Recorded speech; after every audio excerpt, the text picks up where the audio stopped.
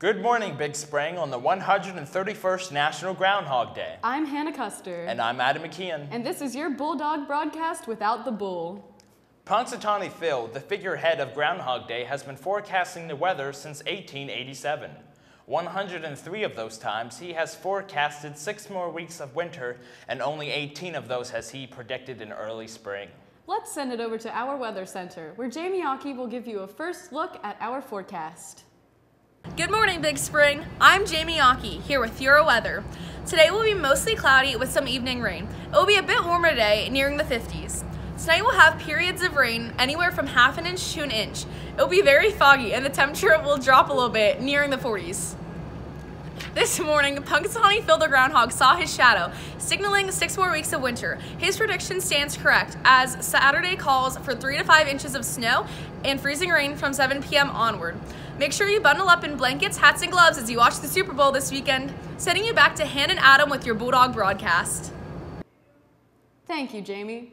Punxsutawney Phil sure is entertainment for the thousands of visitors who flock from over 43 different countries each year to see his prediction. Big Spring High School definitely has some unique entertainment as well. And to tell us about it, here's Emily Parrish and Ava Mallory for this week's entertainment review. Here with your entertainment news, I'm Emily Parrish. And I'm Ava Mallory. Our advanced mass media students, Jamie Yaki and Emily Parrish, made a teacher lip dub video to the song All Star. Here's a cl clip from their final product.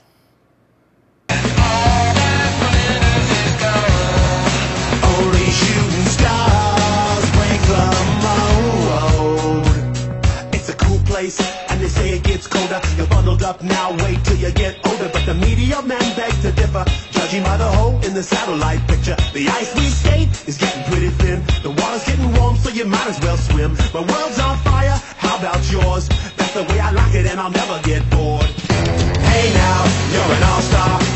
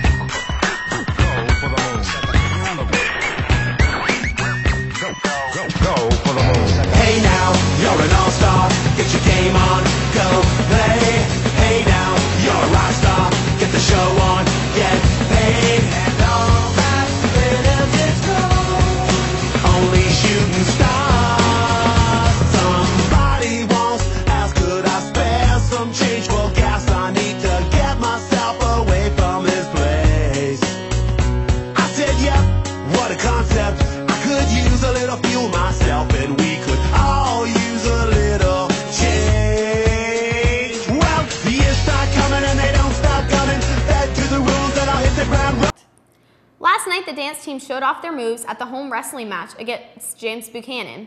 The dance was inspired by Brigham Young University's dance team.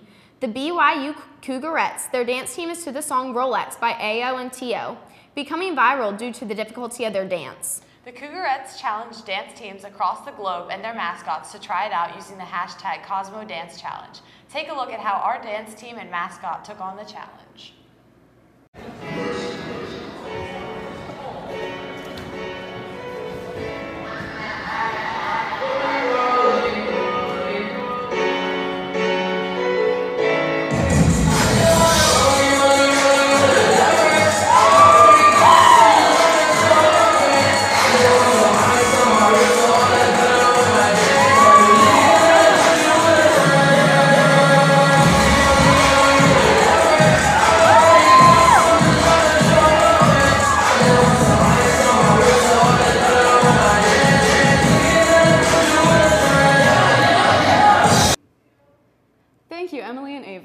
The dance team certainly does put some spirit into the Big Spring sporting events. With a look at some of uh, the recent sports scores and upcoming events, we'll send it over to Ishmael Kirkwood, sports reporter.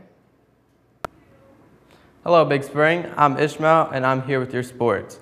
The Big Spring winter sports seasons would be nothing without the excitement brought by our swimming and diving teams. Let's tune into a video by reporter Allie Frick about a state diver on the team who is once again moving on to postseason. As Shannon McCabe continues her senior year of diving, her two goals are to beat her records from last year and get gold medalist, as she made her commitment to West Chester University to continue her diving career. I committed to West Chester University. I'm going to college to continue my diving career. In previous years, Shannon has been to states two times. Her sophomore year, she placed eighth. Her junior year, she got second, and this year, she is hoping to get first as a senior. As swim season has already begun and Shannon is already breaking her records, we hope to give her the best of luck and hope to see her get the gold at states. In national sports news, Donovan Mitchell, who was a rookie on the Utah Jazz, dropped 40 points, 5 rebounds, and 6 assists in the 129-97 win over the Phoenix Suns. The Super Bowl is also coming up this weekend. The New England Patriots, who are the home team, will be hosting the Philadelphia Eagles in the U.S. Bank Stadium in Minneapolis, Minnesota. This is the 10th Super Bowl appearance for the Patriots and the third for the Eagles. The Patriots have won five of those matchups, while the Eagles have yet to win that title. You can tune in on NBC starting at 6.30. Now back to Hannah and Adam. Thank you, Ishmael. We hope everyone enjoyed today's broadcast, and we'd like to remind everyone that you can stay up to date with your latest Bulldog news.